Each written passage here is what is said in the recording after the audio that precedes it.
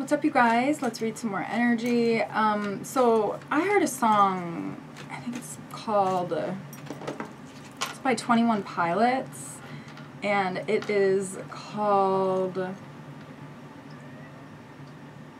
"Shy Away," and the lyrics are. Um,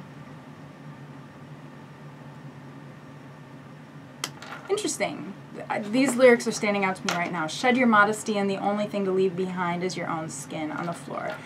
Um, but the lyrics that I was really originally hearing is, uh, "Don't you shy away."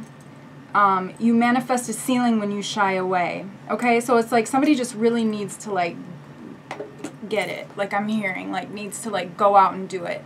I feel like this might even tie in with the reading that I did before this. Um, but uh, that's just really because I'm, I'm hearing that somebody needs some uh, tiger's eye to help with their solar plexus chakra. Okay, somebody's solar plexus chakra is um, a little off kilter. We'll see why. Um, I'm seeing the um, King of Cups in the reverse position in my mind's eye, so maybe somebody had somebody who was emotionally uh, abusive and that wore on their sacral chakra. Um, but in the previous reading, it was somebody who was very attractive and uh, attracted a lot of different types of attention, uh, good and bad. So um, let's just pull some cards. But I do feel like somebody needs some tiger's eye to kind of help get them going on something. And uh, the reading that I did before this too, Green Aventurine was recommended, um, and Malachite. So if it's work related, if you're trying to get something going that's work related, green aventurine would be really good uh, for you if you're trying to manifest malachite and or green aventurine. Let's pull some cards. Okay, yeah, we've got somebody who's very attractive. Okay, somebody who's very attractive and who attracts a lot of attention, and uh, it's it is probably um, can be good or bad, really. Uh, in the last reading, it was sometimes they would attract bad attention because they didn't have they didn't set really strong boundaries. But I feel like there is like a shift happening. Somebody is uh, really standing in their power and learning how to flow better with the universe and walking away from toxic situations moving forward. This is great energy. We've got some good news coming in. Could be work related. I think it is work related. Now we've got the Seven of Pentacles here. Somebody's been working on something for a long time and it's going to come into fruition very soon.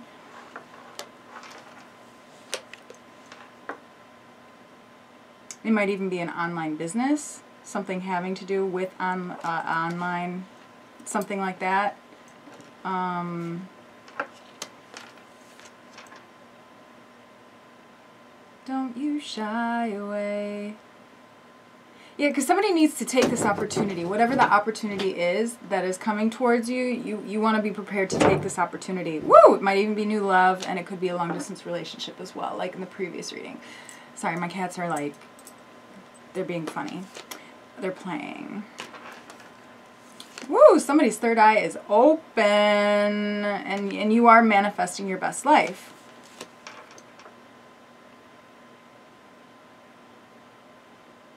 I also feel like somebody's trying to manifest you.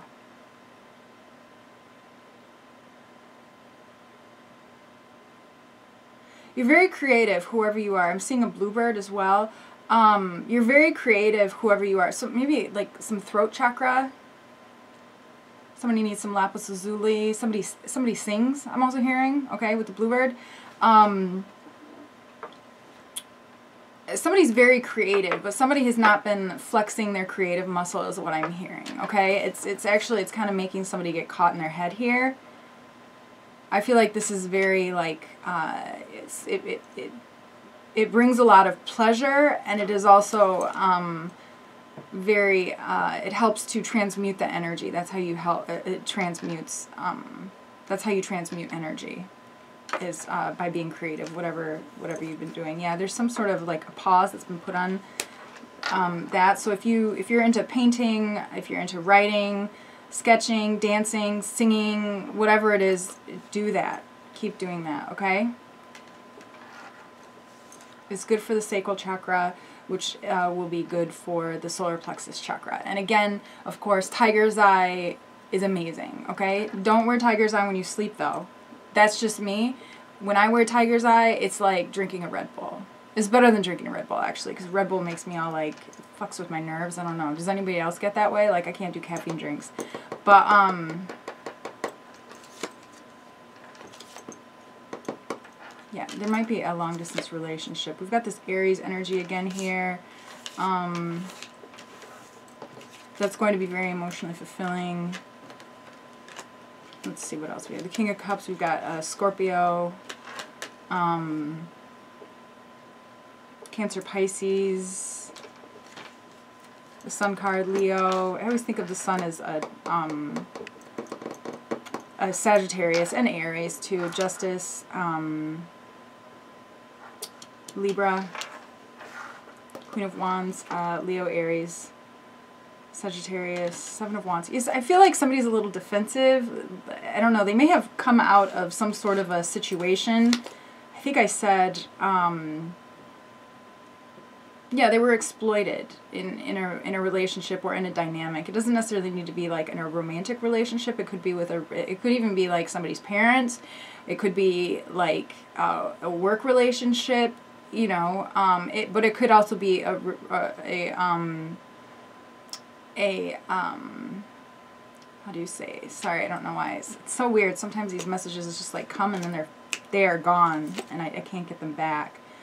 Um yeah somebody's a little bruised up from a situation that uh, where somebody was trying to take advantage of them somebody was trying to exploit them okay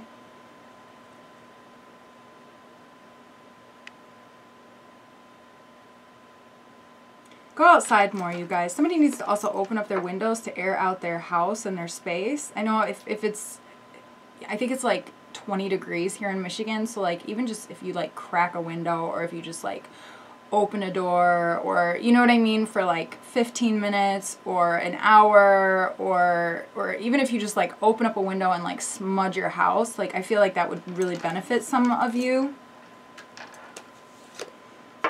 yeah, it's kind of like a tough situation. I actually feel like somebody might be like leaving a situation and they're in or they have left a situation and they are they're being guided towards uh, um, some new opportunities. So, and I, you're being intuitively guided. You, you are highly intuitive. Uh, med meditating might be good for you as well. There's somebody who is an empath who's working in a situation that it's just really difficult for them I just heard dip. So I feel like it's almost like, I'm not telling you what to do, but you might want to, if, if you have another, uh, if you have here, the cards say like an online business or something like that that you are trying to grow or work on, continue to grow that um, so that you can eventually be autonomous.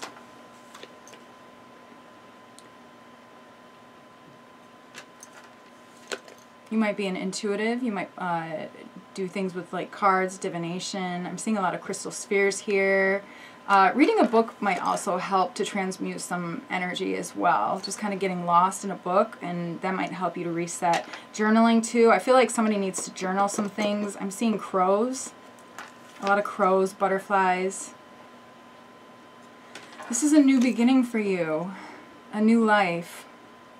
Uh, living in your truth. Living in your authentic self it's which is going to attract authentic people and people who are like you. I feel like somebody was kind of um, I'm hearing the word masking was kind of masking maybe masking their intuitive abilities, maybe masking you know a, a neurodivergent their neurodivergent characteristics, right? Um, but somebody was masking and it's and so it's almost like it was difficult for the universe to align you with your authentic with with a partner because it wasn't your authentic frequency if that makes sense you guys. I hope that that makes sense. Sorry hold on y'all. Okay. Yeah the world. Uh, this is the end of a cycle and the wheel of fortune at the bottom of the deck. Ooh this is beautiful energy. I love it yeah, it's time for a celebration. Again, we've got the Death card. I've also got the Hermit card here, so that was a Virgo. That was Virgo energy. Six of Swords, moving moving forward. Ten of Pentacles, great abundance. Ten of Pentacles is probably one of the luckiest cards, I would say. I also saw strength with Leo energy, okay? I do feel like somebody is going to be coming in with a romantic message, though, and somebody does want a higher level of commitment. Um, if this was a love reading, Okay, but I do feel like for some of you it could also just be like a work reading or it's just, you know, my readings are all general readings, so little bits and pieces may resonate with you, little bits and pieces may resonate with somebody else. Just take what resonates, where it resonates. You'll feel it in your body if the message is for you. You will feel it, okay? Um, and if it doesn't feel right, it's probably not your reading, okay? So just keep that in mind. Um, and uh, if you would like a personal reading, feel free to text me, 616 485 3479 and um, we can set that up. I will also leave the listing for um, my personal readings in the description box below. Um, please feel free to check out my Etsy shop too. And um, if you need to pick up any of those crystals that I mentioned in the reading, most of them are in my Etsy shop. Um, that's a great way to help support this channel, and I appreciate all of your purchases and donations too. Um, if you'd like to make a donation, obviously purchasing from my Etsy shop is a, is a great way to do that, but um, I also have my Cash App and my PayPal information down below too. You can make a donation that way. It just kind of helps me to be able to take the time to, to do these readings, to continue to do these readings and put them out there. And um, yeah, I think that's it. I'm sending you guys so much love. Um, don't forget to like and subscribe if you haven't already subscribed. And until next time, love you guys. Bye bye.